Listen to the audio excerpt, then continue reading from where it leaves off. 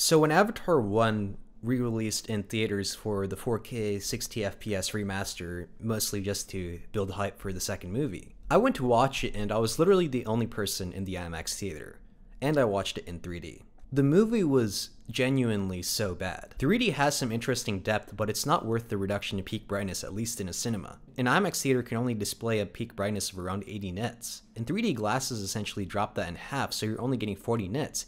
HDR10 peaks at 1000 nits, which is probably why 3D in theaters is mostly a failed technology. Literally no one cares about it. What movies even release with 3D nowadays except for Avatar The Way of Water, of course, which is going to be complete trash. The CGI in this movie aged so horribly, like you would have no idea. I remember watching it back in the day. I thought it was good, but what was I like 10 at the time?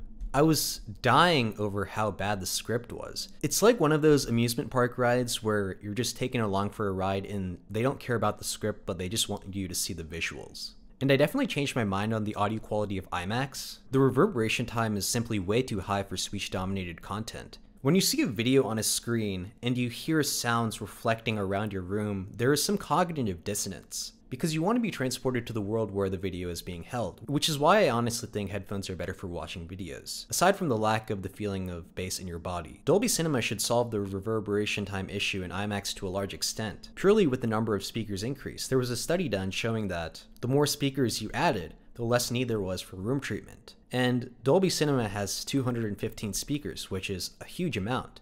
You don't even have to deal with phantom images because there are just so many speakers. The mid-range in IMAX is definitely too boosted. It was very harsh sounding. Honestly, I don't know why the X-curve is still a thing, it's just really dumb. It does not sound good at all.